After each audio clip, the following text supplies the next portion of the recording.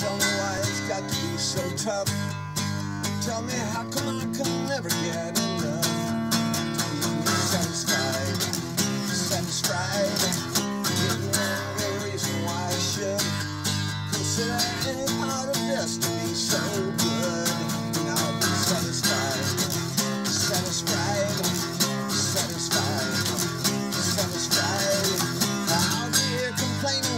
Business is explaining about the ways of grain and all that rot. I'll sit here immobilized, my ego chopped right down to size. What they all think is such a prize,